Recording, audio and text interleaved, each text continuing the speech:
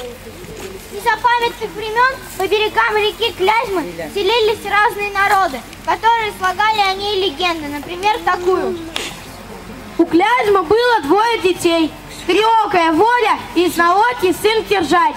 Под старость мать река соскучилась и позвала детей к себе. Водя быстро добралась до своей матери. Клязьмы. А Киржачу помешала гора. Долго длилась борьба, но Киржач одолел гору и соединился с матерью.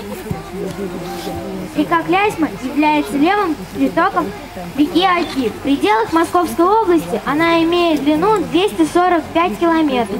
В бассейне реки живут 2,5 миллиона человек.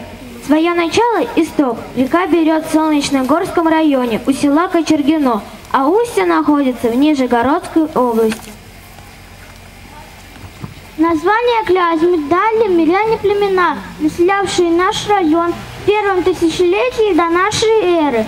Хотя есть и другая версия.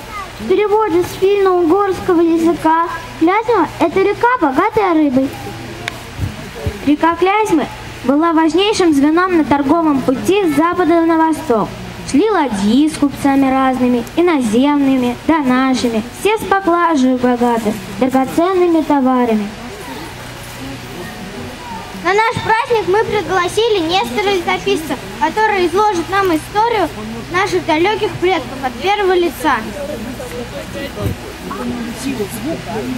Написал его и мои потомки славную историю русского государства. Называется она «Повесть временных лет». Долгими вечерами изучал древнейшие летописи. Не забыл и я и ваших далеких предков. Мои друзья именно здесь, между речи рек, Ляльмы и Учи поселились племена Кривичей в далекие времена.